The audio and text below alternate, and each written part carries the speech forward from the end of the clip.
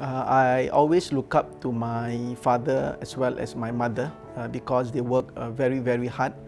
Uh, I actually came from a low income family, but I don't feel like as if I came from a low income family. Uh, my father used to hold three jobs. Uh, he would wake up uh, at around 4.30, 5 o'clock in the morning. Then he would go to his first job where he is a street cleaner. Then after that, uh, he would then proceed to Tekka Market where then he works as a garbage uh, collector before he comes home at around 11, 12, uh, have his lunch, take a short nap and then at 3 p.m. he will go to the Kalang Theatre to work as a security guard. Uh. I could actually uh, empathize uh, with uh, many of the low-wage uh, workers. Uh.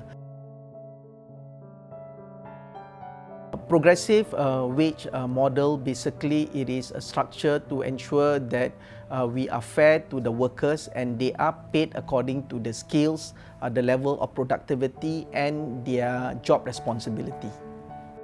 When we try to develop the progressive wage uh, model for the cleaning industry, I think it was very, very uh, important that we uh, engage the stakeholders as much as uh, possible. Uh, we need to understand the concern of the service providers.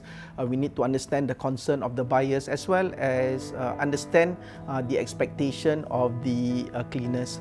Eventually, we managed to come up with a progressive wage model, giving sufficient lead time for the service providers to make the necessary adjustment.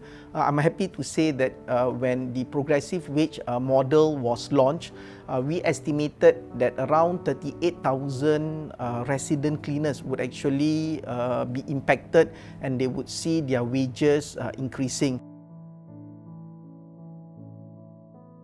I do hope that uh, we continue uh, to give uh, every uh, low wage workers, a family, uh, a sense of hope for a, a better future.